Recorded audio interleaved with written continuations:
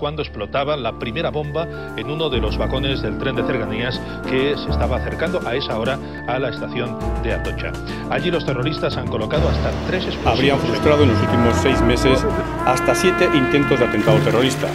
Quienes habrían perpetrado o intentado perpetrar estos atentados son en su mayoría jóvenes El presidente ruso Vladimir Putin ha dicho hoy que el Estado o al Estado Islámico lo financian unos 40 países y que algunos de ellos forman parte